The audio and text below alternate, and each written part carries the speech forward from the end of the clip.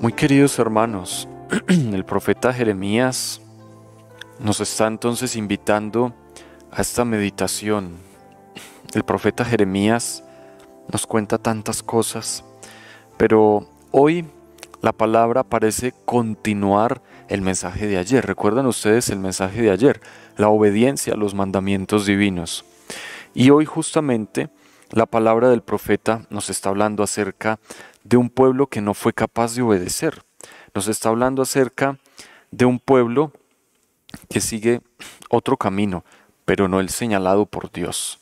Y entonces esta palabra nos ayuda a comprender que el ser humano tiene un corazón realmente obstinado, hermanos.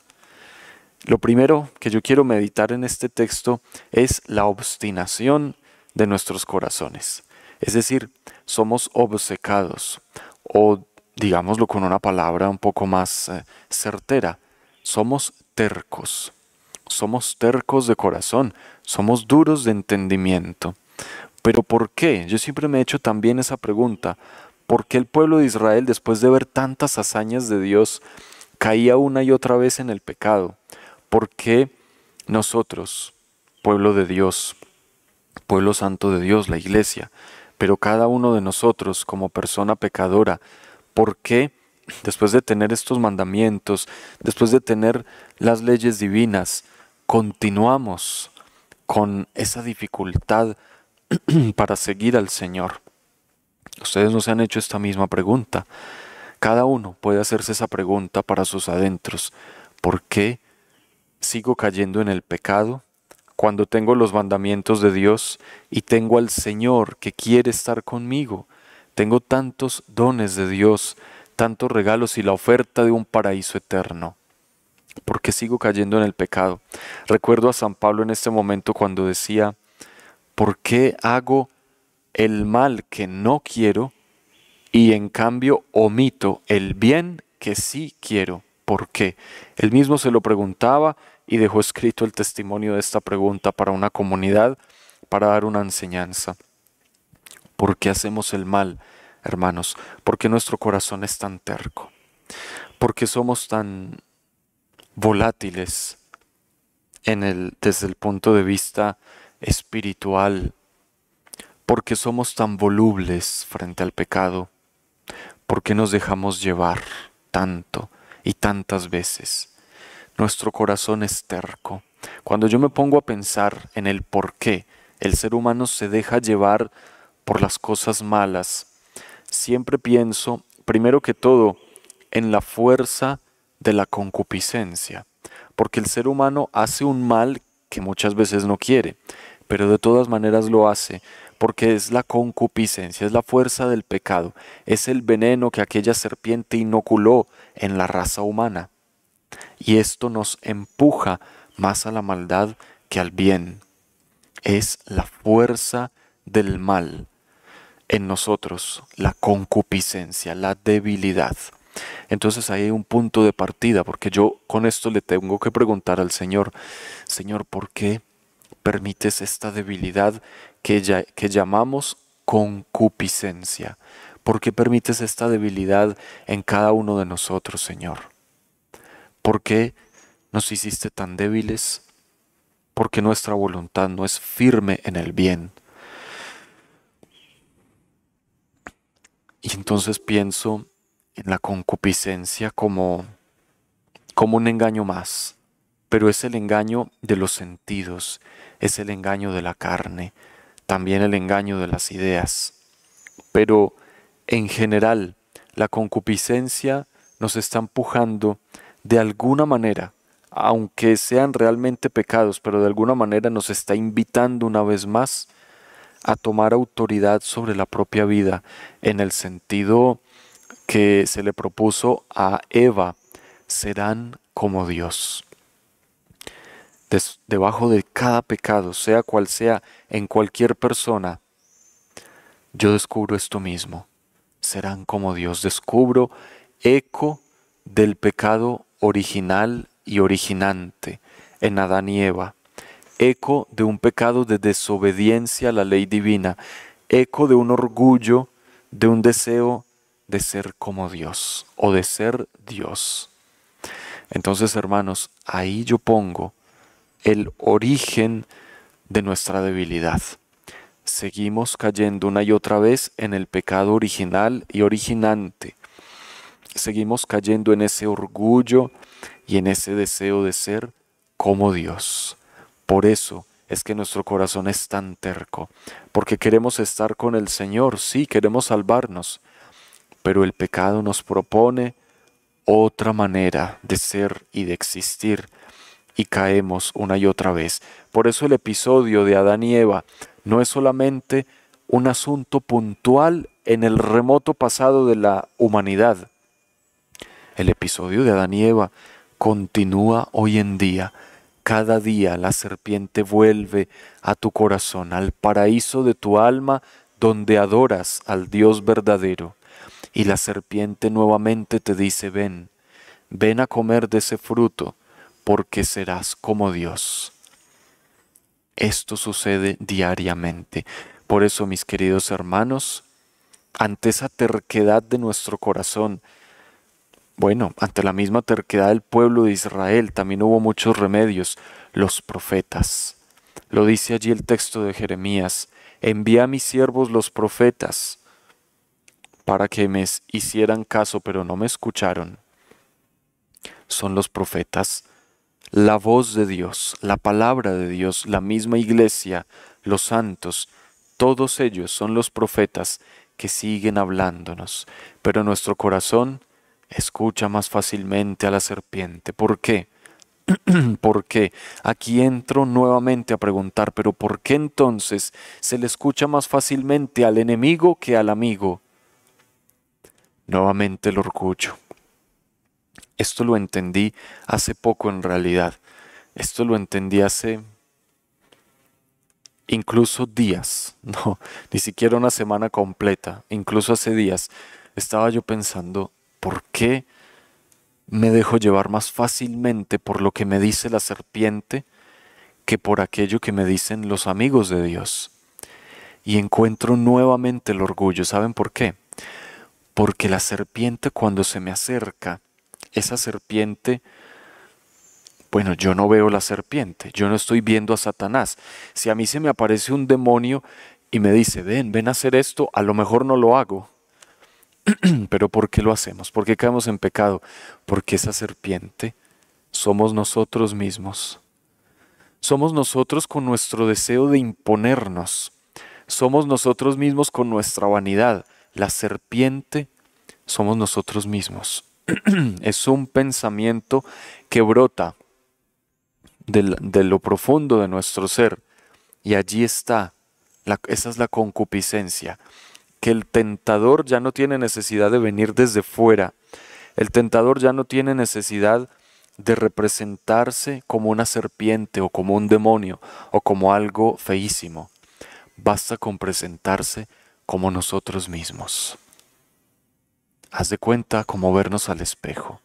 Entonces el tentador ya no se disfraza de serpiente, pero es la misma serpiente, se disfraza de ti. Por eso es que tú le haces tanto caso, porque está la vanidad y la tendencia humana a a validar solamente las propias ideas, a validar solamente los propios sentimientos y la propia experiencia, a validar y aceptar y seguir y escuchar con agrado solamente aquellas palabras de lisonja que nos dirige el enemigo cuando se disfraza de nosotros mismos. Ya no se disfrazará de serpiente, ya fue descubierto con ese disfraz. Ahora se disfraza de ti de cada uno de nosotros. Entonces, por eso, esa fue al menos la conclusión a la que yo llegué. ¿Por qué le hago tanto caso a la tentación? Porque la tentación no llega del demonio. La tentación se disfraza de mí mismo. Y entonces viene la vanidad y el orgullo. Ah, bueno, si yo mismo me digo estas cosas, entonces yo mismo, eh, pues me haré caso. Por eso somos tan tercos, hermanos caemos una y otra vez en el mismo pecado de Adán y Eva y en el mismo pecado de Satanás cuando solo se admiraba a sí mismo y no aceptó lo que Dios hacía con los otros ángeles y mucho menos aceptó lo que Dios iba a hacer con la raza humana. Solo se contemplaba a sí mismo, solo se escuchaba a sí mismo. Por eso el más terco de todos es el demonio. Es muy inteligente, sí, pero es el más terco de todos, porque solamente se escucha a sí mismo.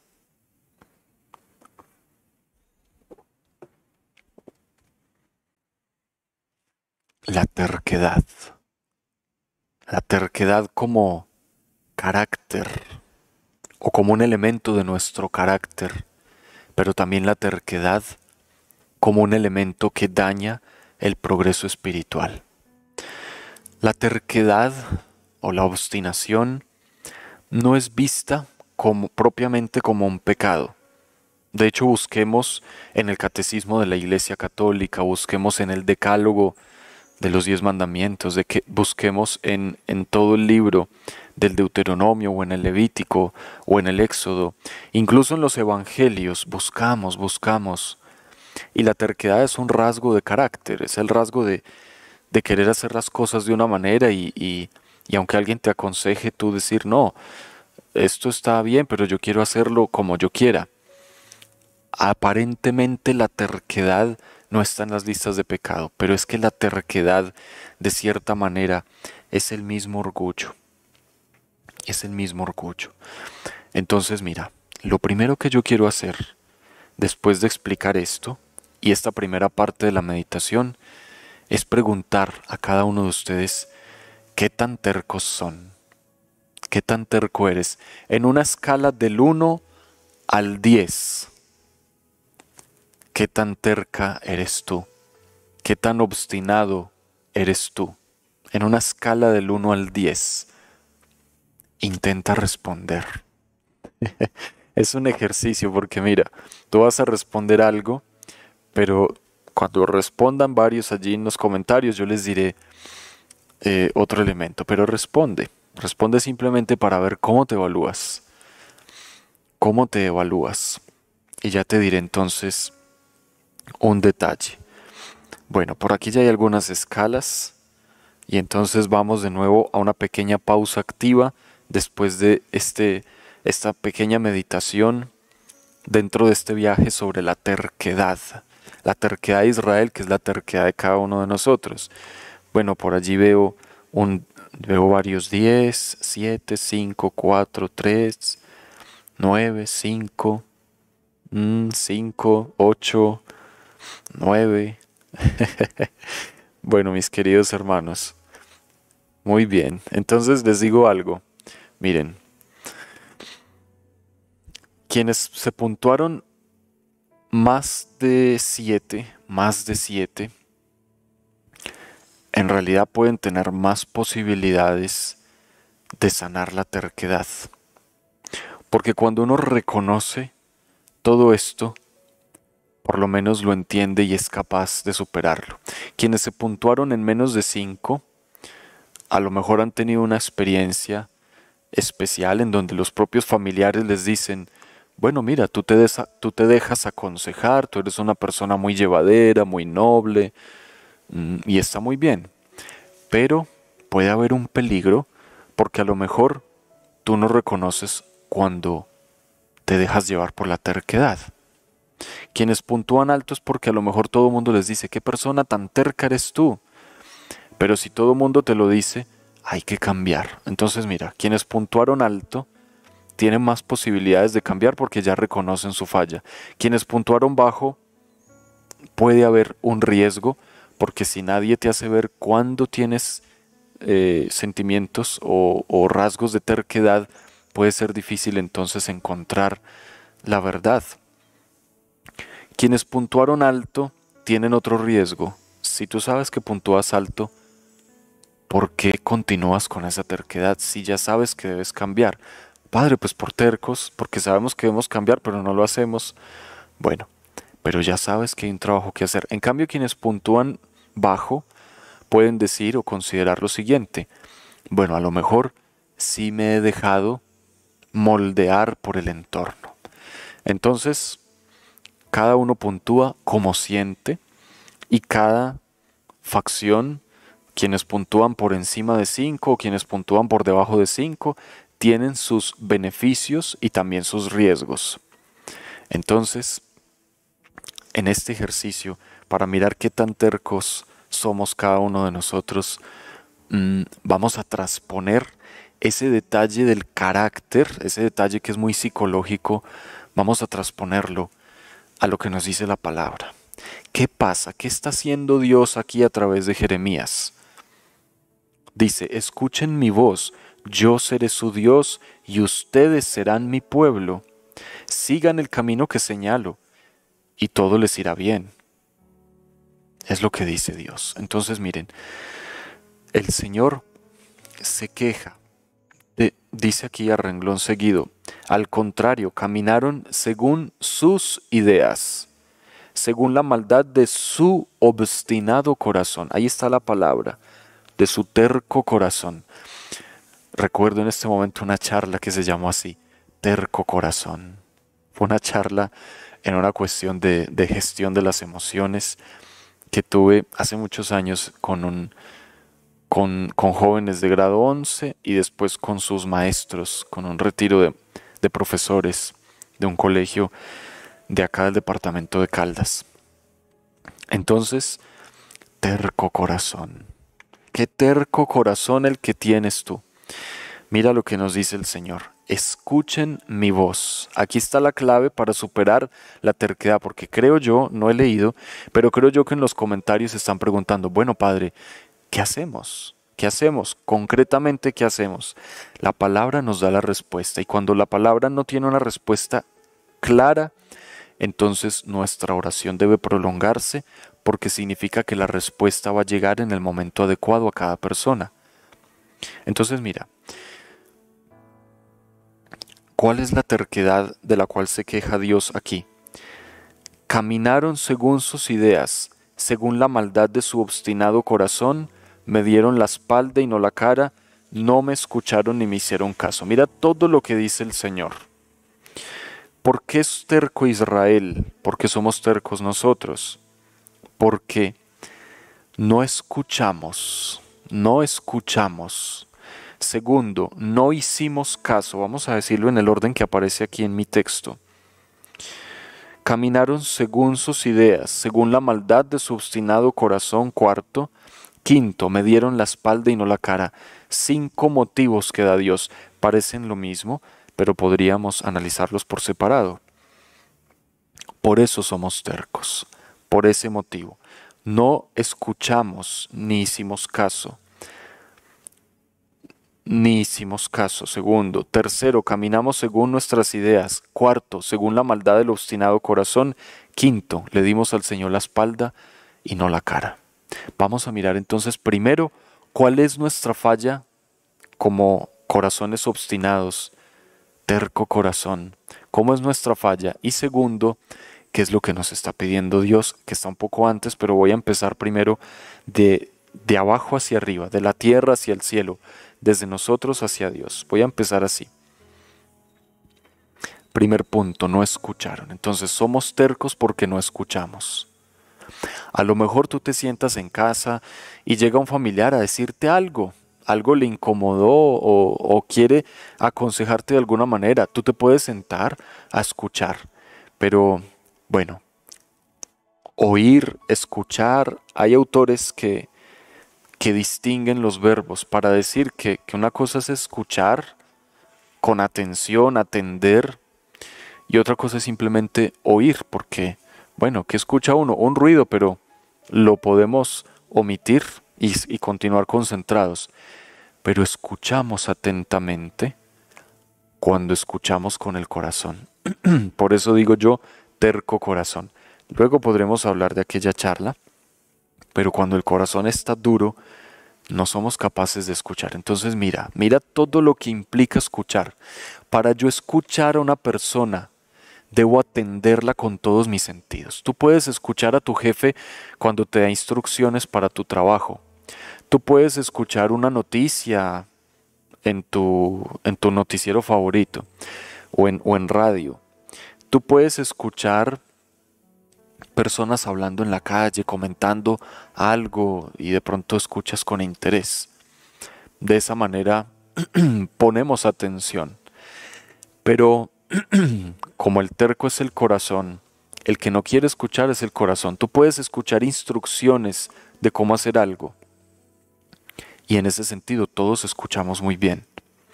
Pero cuando se trata de ti, ya no puedes escuchar con la razón, sino con el corazón. Cuando se trata de ti, de tu interior, de tu vida, de tus pensamientos, de ti, de todo lo que implica ser tú. Y Dios nuestro Padre constantemente nos habla de tú. Constantemente habla a cada uno de sus hijos por separado. Habla a la, a la, a la masa del pueblo, sí. Dios le habla a todo su pueblo en muchas ocasiones.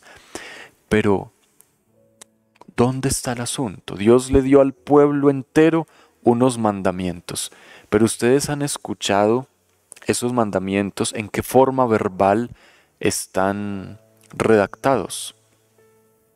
¿Has escuchado? Recuerda los diez mandamientos, por ejemplo. ¿En qué forma verbal fueron redactados? ¿Lo recuerdas? En segunda persona del singular, o sea, de tú. Dios, aunque dio los mandamientos para todo el pueblo, los entrega a cada persona. Por eso dice, amarás. ¿Quién amará? Tú amarás. Tú no conjugas el verbo diciendo, nosotros amarás al Señor. Nosotros no matarás. No. Se conjuga de tú. No matarás. Tú no matarás. Tú no cometerás actos impuros. Tú santificarás las fiestas. Tú amarás al Señor tu Dios. Tú no robarás. ¿Recuerdan la forma verbal tradicional como se ha traducido los diez mandamientos? Entonces miren, otro asunto, las bienaventuranzas. Entonces ya Jesús la da un poco en plural porque los criterios del reino nos llevan de la conversión personal a una conversión comunitaria. ¿Cómo es esto, Padre?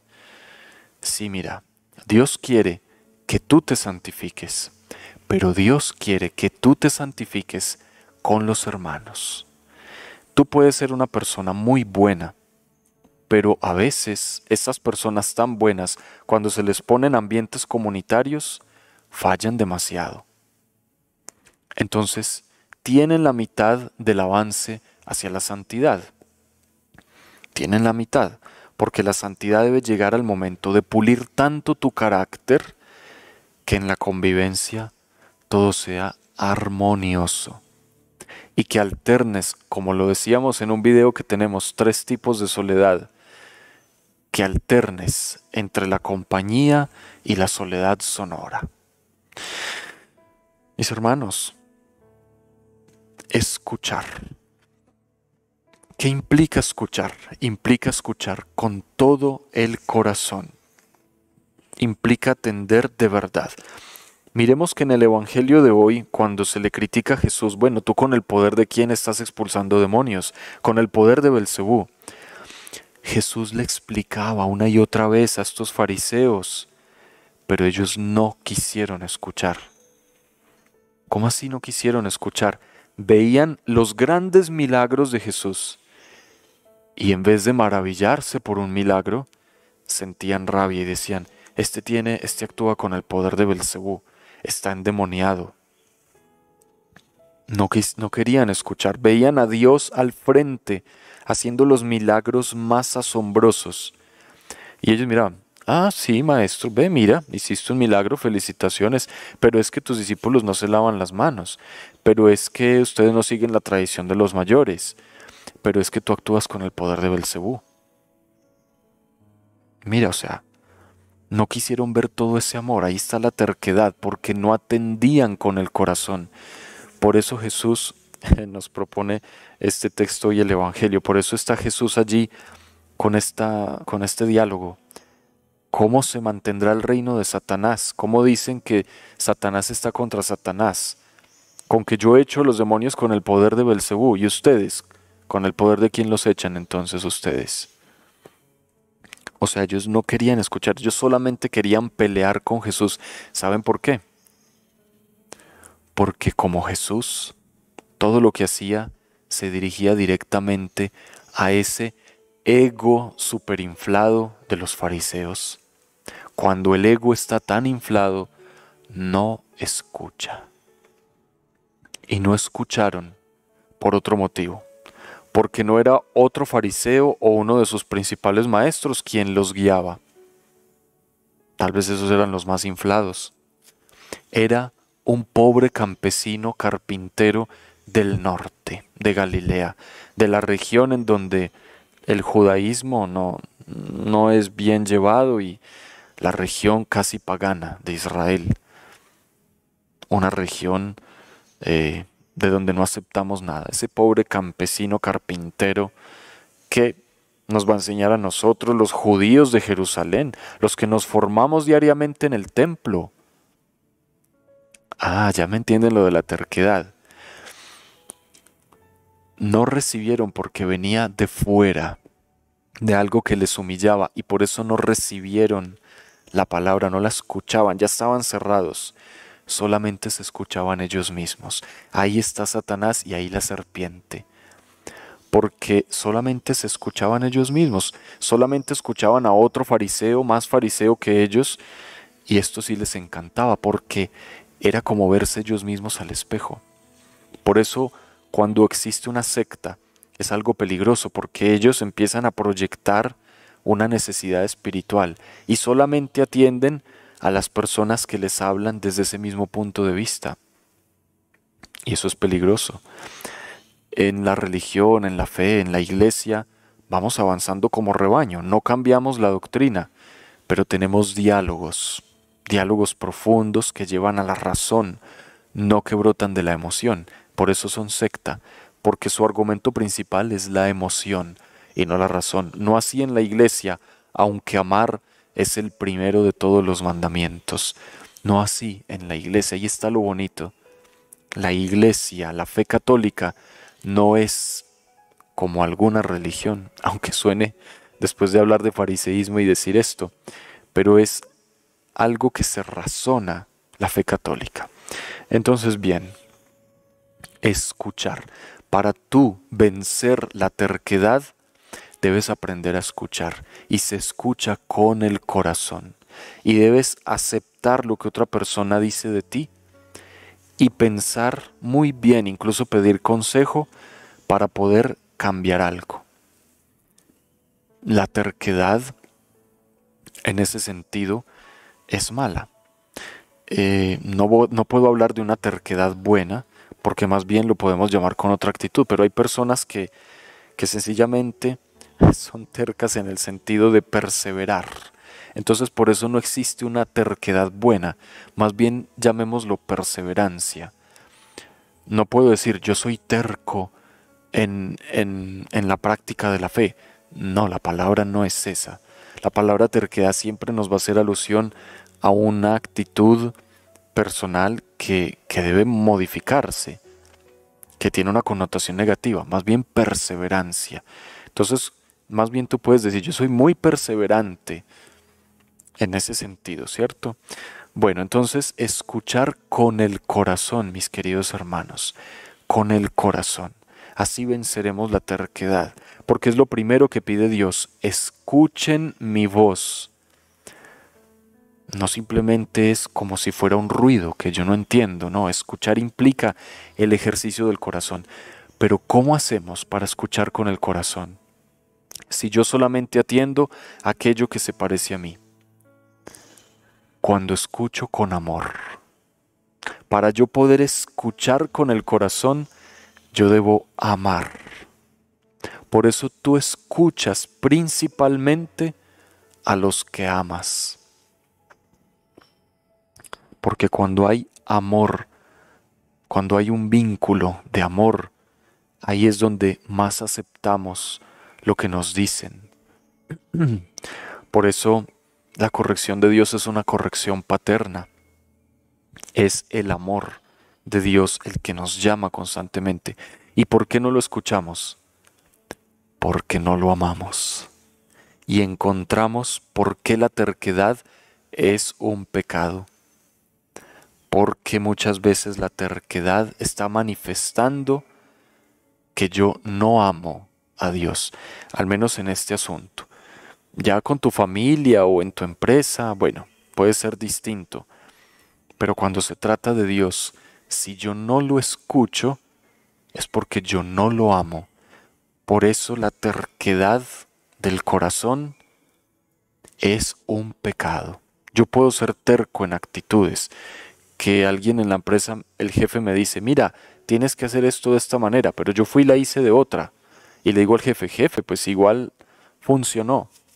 Si el jefe no me da razones para yo modificar mi manera de trabajar, a lo mejor no la modificaré. A lo mejor a lo último ya me dé una razón que dice, si no lo haces así te vas. Y punto. No voy a discutir contigo, te vas. Entonces ya el trabajador cambia su manera de actuar, pero no porque haya entendido, sino por obligación, por imposición. Ahí está el asunto con Dios. Con Dios yo practico la norma, pero si yo lo hago por imposición, mi relación con Dios no está bien. Yo lo debo hacer por amor y porque he entendido. Cuando voy le digo, jefe, ya entendí por qué usted me pedía hacer las cosas de esta manera, porque como yo lo hacía había un mayor riesgo para mí y para el producto que estamos trabajando en la empresa. Así yo le digo a Dios, Señor, ya comprendí por qué me pedías esto. Era para mí más fácil de otra manera, pero ya entiendo que aquí hay un riesgo en lo que yo hago. Y, y como te amo, debo aceptar cuando tú me llamas porque también me amas. Y cuando Dios, recuerden que cuando Dios nos ama, entonces nos llama. Escuchar. Segundo punto, no hicieron caso. Entonces cuando escucho de verdad, esto me lleva a actuar. Cuando yo escucho el dolor de una persona, el dolor que le he causado en, el, en el hogar, por ejemplo, el dolor de una infidelidad, cuando yo escucho el dolor que le causé a la otra persona por mi infidelidad, que es fruto de un corazón obstinado, cuando escucho con amor y con el corazón, entonces puedo cambiar.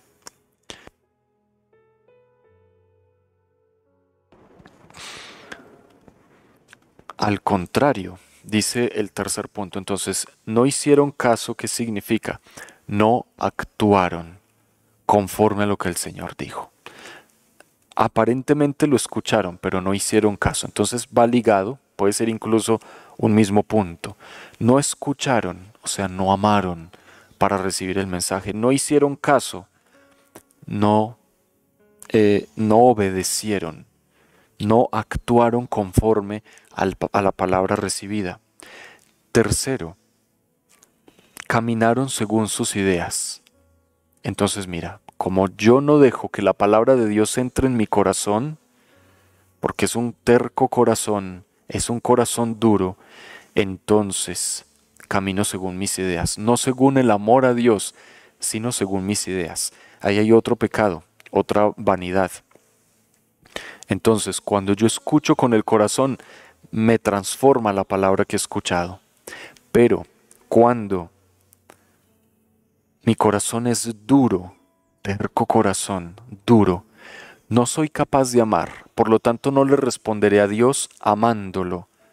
Por eso no le hago caso y por eso sigo mis ideas, porque no dejo que se involucre mi corazón en la fe, sino que siempre trabajo desde la razón y me quedo en un racionalismo frío.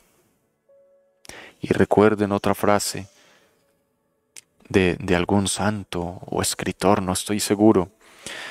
Vale más una gota de amor que toneladas de inteligencia. Es lo que pide Dios, hermanos, vivir desde el amor, que la palabra no se quede solamente en la mente, sino que llegue al corazón. Por eso en navegando en la palabra, la mayoría de las veces hablamos desde el corazón aunque también desde la razón, cuando hacemos un análisis exegético de los textos, cuando pasamos por alguna visión histórica o de contexto, cuando analizamos una palabra desde toda su raíz y, etimología, también vamos por la razón. Entonces caminaron según sus ideas, o sea, se olvidaron de amar.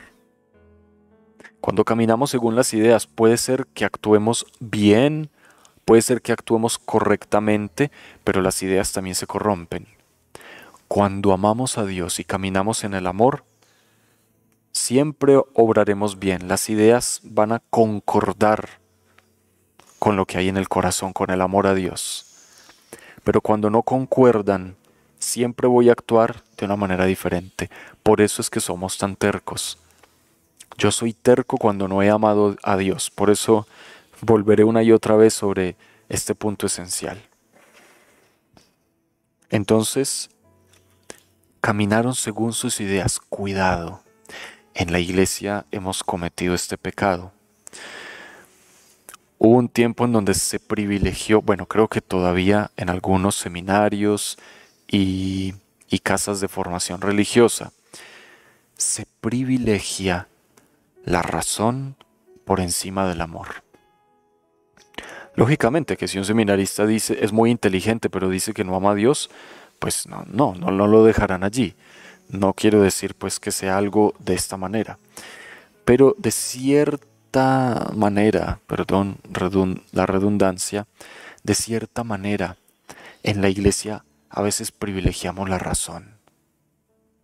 Por eso es que hablando con, con alguien sobre el tema de las redes sociales, yo le decía, mira, tantos expertos que tenemos en tantos temas a quienes escuchamos y quedamos con la boca abierta de, toda la doctrina, pero la gran cantidad de personas no están buscando expertos, confían en, en, en, en la formación de cada sacerdote, confían en su experiencia, lo que están buscando es testigos, lo dijo San Juan Pablo II en su tiempo.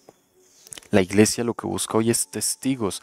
La gente no, hay expertos y hay que tenerlos, pero la inmensa cantidad del pueblo de Dios confía en lo que la iglesia enseña, independientemente de que sea un experto o no, pero lo que está buscando es el amor, la praxis eh, de, de, de la palabra, la praxis en el sentido de amar diariamente, cómo aplicar esta palabra en la vida, cómo la aterrizo a mi experiencia vital, a mi estado de vida, a mi familia, a mi proyecto de vida. Cómo aprendo a amar a Dios, cómo transformo mi vida. Entonces, ya confiamos en la doctrina y eso está muy bien. Lo que pasa es que la iglesia a veces se queda privilegiando la razón. Bueno, no la iglesia, creo que esto es, no debo decirlo.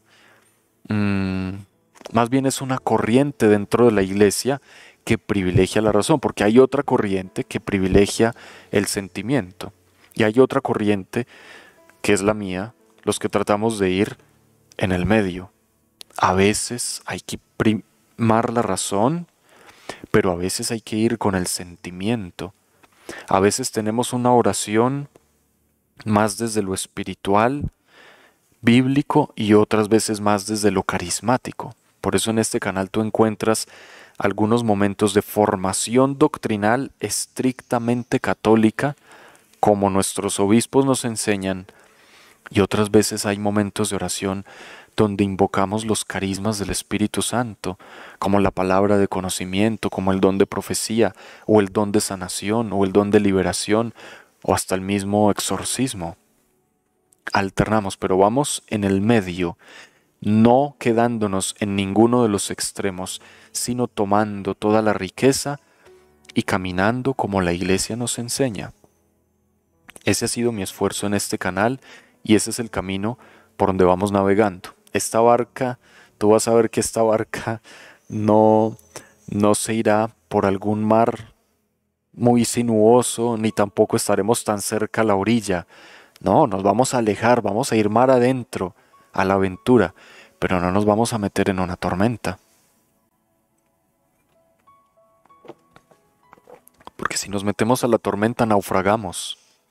Y si nos acercamos demasiado a la orilla, pues bueno, no hay un viaje verdaderamente y no profundizamos porque nos quedamos en la seguridad de un texto y de un mensaje muy puntual. Por eso navegamos.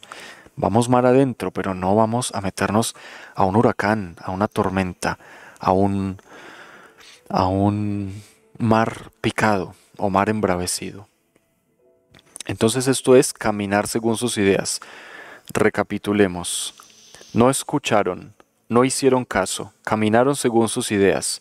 Cuarto, según la maldad de su obstinado corazón. Aquí ya Dios dice, miren, allí en el corazón está todo, el corazón es el centro, en la cultura semita, el corazón es el centro de todo el ser. Si el corazón se corrompe, todo se corrompe en la persona.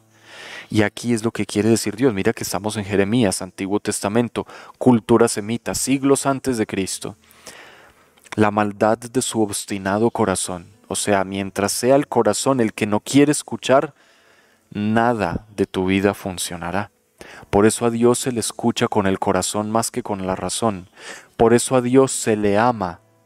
A Dios no se le pretende capturar con el cerebro, con los sentidos. Se le ama y Él se revela cuando quiere y como quiere. Pero a Dios se le ama, ese es el primer mandamiento. Y amándolo lo conocemos. y cuando más conocemos de Él en estos estudios bíblicos y en estas meditaciones, más lo vamos a amar. Entonces, hay que alternar, miren, lo decían los santos, la, la discusión de siempre entre Santo Tomás y San Buenaventura si yo lo conozco, lo amaré. Y el otro decía, si yo lo amo, lo conoceré. ¿Cuál de los dos tenía razón? Ninguno, a ninguno se le dio la razón porque ambos tenían razón. Pero lo principal de todo es el amor, en eso sí tenían razón ambos. De verdad, sí, hay que amarlo. Hay que amarlo y entonces ya estudiamos la palabra, estudiamos la fe de la Iglesia Católica. Por eso te invitamos al proyecto Apóstol. Mira esos videos, déjate formar y acompáñanos con la ayuda de Dios los martes a las 7 de la noche. Cuando no haya encuentro, pues avisaremos en el estado de WhatsApp. Por eso es importante que nos tengas agregados en tus contactos, aunque no nos escribas, pero nos tienes agregados porque en el estado ponemos alguna información en algunos momentos. Entonces, el corazón obstinado, el corazón obstinado, si el corazón de un ser humano está corrompido, todo en él está corrompido. Y entonces, ¿qué es el corazón? ¿Qué es? Tal vez la conciencia, tal vez las emociones o tal vez las las motivaciones más profundas, las verdaderas intenciones. O a lo mejor es todo esto. Todo esto es el corazón humano. Entonces mira todo lo que hay que purificar en ti. Intenciones, motivaciones, emociones, pensamientos y conciencia. Todo esto puede ser lo que quiere decir el Señor cuando habla de corazón en este texto. Todo eso es lo que se corrompe y daña al ser humano. Pero cuando marcha bien, entonces todo mejorará. Aunque seas una persona muy terca, pero si tu corazón está bien en esos cinco detalles, entonces vas bien. Y superarás esa terquedad, porque si amas a Dios de todo corazón, el amor te obligará a superar la terquedad. El amor a Dios te obligará a ser humilde y a dejarte aconsejar de los demás y a hacer las cosas como otra persona te pide que las hagas. Ese era el cuarto punto. Y el último punto, me dieron la espalda y no la cara. ¿Qué significa esto? Que no darle la espalda a una persona. ¿Qué significa esto? Darle la espalda a alguien. Significa, bueno, es un acto de irrespeto. O sea, no hay respeto si alguien me habla y yo le doy la espalda. Falta de respeto. Segundo, ¿qué significa darle la espalda a alguien? Alguien quería mi ayuda, pero yo no le di la ayuda. Cualquier excusa, válida o inventada. Pero yo no le di la ayuda, le di la espalda a una persona que me necesitaba, no le ayudé. Ese es el segundo sentido. Tercer sentido, no mirar de frente. no mirar de frente, o sea, me estaban diciendo algo y yo esquivé, esquivé, entonces le di la espalda a este proyecto, es decir, no me gustó este proyecto, entonces le di la espalda, lo esquivé, no, no quise mirar en esa dirección, no mirar en esa dirección. Y cuarto, no querer tener un diálogo, no querer tener un diálogo, es decir, tú me hablas y yo te doy la espalda cuando me hablas, o salgo, de alguna manera quiero irme, significa no quiero hablar contigo, no te quiero escuchar con el oído ni con el corazón. Eso es. Entonces miren todos los significados de dar la espalda. Y miren lo que dice el Señor. Siento hasta un poco de, pesar y me da pesar de Dios Padre. Quisiera ir a abrazarlo. Y yo, no, Padre, Padre amado, no. No todos te damos la espalda o no siempre. Perdónanos. Porque miren, es el dolor. Me dieron la espalda y no la cara. O sea, me faltaron al respeto le dieron la espalda a mi proyecto, no me brindaron la ayuda que necesitaba para construir mi reino que es para ellos mismos. Y no quieren escucharme, no me hacen caso, no, no les interesa hablar conmigo. Me dieron la espalda y no la cara. Entonces, hermanos, mm,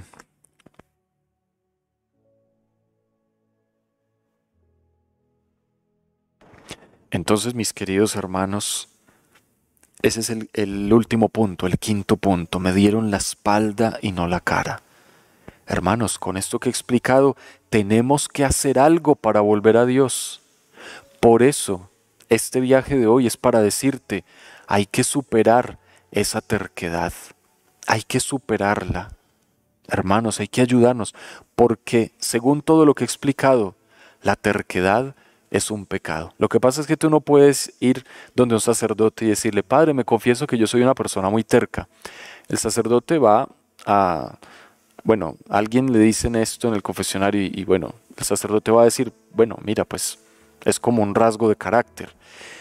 Pero cuando tú entiendes estos cinco puntos de cómo tu terquedad te hace caer en el pecado, entonces ya, ya tienes otros elementos para confesarte. Padre, mi terquedad me ha hecho no hacerle caso a Dios, no seguir su camino, no seguir su palabra, darle la espalda, faltarle el respeto, dañar también el proceso espiritual de los demás de alguna manera, frustrar mi avance a la santidad, Padre. Mi terquedad me ha hecho apartarme del camino del bien. Entonces, Padre, pues la terquedad como tal tal vez no, pero mire lo que ha desencadenado en mí la terquedad. Entonces ya el Padre te dirá, ah, bueno, comprendo lo que me quieres decir. Entonces es por esto que la terquedad no está en el catecismo como alguno de los pecados capitales, pero mm, debiera estar allí en esto que acabamos de explicar. Y recuérdenlo, Jeremías 7, 23 al 28. Hemos navegado mucho por acá. Dios luego entonces manda al profeta a hablarle al pueblo manda al profeta a hablarle, a explicar, a, decir tantas cosas. Y entonces dice, mira, ese pueblo no te va a escuchar, Jeremías. Aún así le dirás, esta es la gente que no escuchó la voz del Señor su Dios y no quiso escarmentar. Ha desaparecido la sinceridad, se la han arrancado de la boca. Es decir, ese pueblo que no le hace caso a Dios termina viviendo en la mentira y en la maldad. Pero empezaron siendo tercos y terminaron en la mentira y en la maldad. El Evangelio entonces nos muestra a Jesús expulsando un demonio mudo, mudo. ¿Qué significa un demonio mudo? Significa que aquella persona no podía comunicarse, que aquella persona no podía hablar, aquella persona no podía dirigir a Dios su alabanza. Era un demonio mudo. El demonio no nos deja hablar, ni con Dios ni con el hermano. Entonces mira, aparentemente la persona muda puede escuchar muy bien, aparentemente, pero ustedes han notado que hay una enfermedad también y las personas son sordomudas muchas veces. Entonces muchas veces la persona muda es también sorda. Normalmente ocurre así en, este, en esta enfermedad. Cuando hablamos del demonio mudo, también debemos preguntarnos, bueno, si este demonio era mudo, esta persona no se podía comunicar. Y cuando una persona no se puede comunicar, tampoco quiere escuchar. Entonces, estaba Jesús echando un demonio que era mudo, es decir, Jesús estaba tratando de ayudar al pueblo para que pudiera comunicarse con Dios. Ese era el demonio mudo, el demonio que le impedía al pueblo hablar a Dios, orar. Jesús expulsó ese demonio y entonces la persona pudo comunicarse con Dios. Asimismo pasa Jesús quitando ese demonio mudo que no nos deja rezar, que no nos deja ir a misa, que nos da tanta pereza rezar el rosario o navegar en la palabra. Jesús se lleva ese demonio. Y entonces, la multitud estaba admirada, dice aquí. Apenas salió el demonio, el mudo empezó a hablar. La multitud se quedó admirada, o sea, la gente decía, gracias Jesús. Pero algunos, dice aquí, pero algunos de ellos dijeron, por arte de Belcebú, el príncipe de los demonios, echa a los demonios. Estos no estaban escuchando ni viendo con el corazón. Lo que querían era buscar la caída de Jesús, criticarlo, criticar su actuar. Y entonces, ¿qué hicieron ellos? Dijeron, por arte del demonio está echando demonios. No reconocen a Dios. Cuando yo me quedo en mi terquedad, ya no reconozco ni a Dios. Y alguien viene a ayudarme y creo que lo que quieren es hacerme daño. Ese es el problema de las personas demasiado tercas.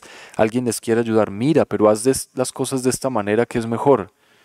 Se cierran, se quedan totalmente tercas, cierran su corazón y entonces ya no ven ni siquiera a Dios cuando Dios los está llamando a través de los demás. Otros le pedían un signo del cielo, acabando de ver que el mudo habló y pedían un signo del cielo, querían algo que se moviera el sol o la luna o, un eclipse, porque eran los signos, los eclipses eran signos. Entonces ellos pedían esos signos. Y Jesús simplemente dice, todo reino dividido contra sí mismo va a la ruina y se cae. Todo reino dividido contra sí mismo. Si Satanás está contra sí mismo, si Satanás se expulsa a sí mismo, entonces ¿cómo mantendrá su reino? Entonces todo reino dividido contra sí mismo se cae. Luego dice Jesús la división. Y ahí reveló entonces la terquedad del pueblo. Habló del reino de las tinieblas, pero también habló del reino de Dios. Y luego seguramente estaba hablando del reino de Israel. Todo reino dividido contra sí mismo se cae. Es decir, ustedes, yo hago el bien a la gente de Israel. Y ustedes me persiguen porque yo le hago el bien al, pueblo de Israel porque ayuda a los necesitados, a los enfermos. Me persiguen. Todo reino dividido contra sí mismo se cae. Y se cayó. Israel se cayó. Fue destruido. Apenas últimamente, en el último siglo, eh, Israel recuperó su tierra y están allí haciendo nación. Pero había sido destruido. Todo reino dividido contra sí mismo se cae. En nuestros países hay mucha gente a veces que quiere ayudar, pero a veces las leyes impiden que lleguen las ayudas. O el mismo reino se divide. Hay ayudas para dar, pero hay corrupción y entonces somos unos egoístas y tercos y entonces el reino se divide. Nuestro país se desmorona cuando estamos divididos. Pero también explicaba Jesús el tema. Bueno, Satanás, ¿cómo, cómo Satanás se va a dividir contra sí mismo? ¿Cómo se mantendrá su reino? Entonces les quiso decir, si yo trabajo para Satanás, pues yo no estaría llevando a la gente a la conversión, a Dios. Luego da los ejemplos. El hombre fuerte guarda su palacio, pero si llega otro más fuerte que él, lo vence y le quita las armas. Entonces es el otro ejemplo para decir que la fuerza la tenemos en Dios. Podemos estar seguros, pero cuando estamos en Dios. Hay un enemigo fuerte, lo dice aquí Jesús, y es Satanás, es el maligno, ese es el enemigo fuerte. Tú puedes tener tu vida bien segura, pero puede llegar un enemigo más fuerte que tú, Satanás, con su idea, disfrazado de ti, te engañó y te hace caer en la tentación y te destruye. Ese es el enemigo fuerte, es Satanás. Puede ser también un demonio y entonces entra el demonio en tu vida con una enfermedad, con una ruina o a través de maleficios si tú no, no, no vas a misa o no te confiesas. Porque si vas a misa no te preocupes por maleficios, eso ya está superado. Si tú vas a misa, te confiesas y comulgas, está superado el asunto. Y si tienes algunos síntomas, buscas a tu sacerdote. Pero cuando ya estamos con Jesús, estas cosas pierden todo el poder. Pero, pero Satanás va a buscar la manera de entrar. Por eso viene el enemigo más fuerte que tú. ¿Y cómo va a entrar? Se va a disfrazar de ti mismo. Pero ten cuidado porque una profecía antigua dice que Satanás se disfrazará de lo que tú más amas. Después hablaré de eso. Termina diciendo Jesús, el que no está conmigo está contra mí. El que no recoge conmigo desparrama. El que no está conmigo está contra mí. El que no sigue la palabra de Dios entonces no se ha encontrado con Cristo. El que no conoce la Biblia no conoce a Jesús. Por eso dice Jesús, el que no está conmigo está contra mí.